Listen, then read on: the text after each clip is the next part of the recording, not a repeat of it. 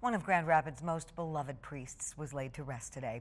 Funeral services for Father Dennis Morrow, the longtime Grand Rapids Police and Fire Department chaplain, took place this morning. Here's how he was remembered.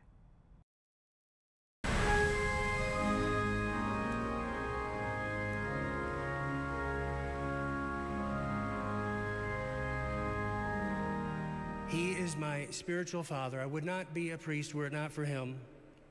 All those years of taking me in and teaching me what it meant to be a priest.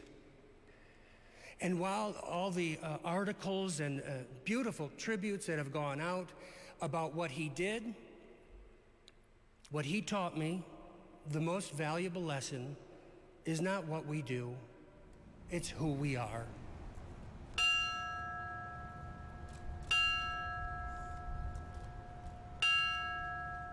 Thank the Lord for this gift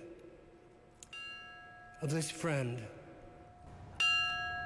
We were privileged to be touched by him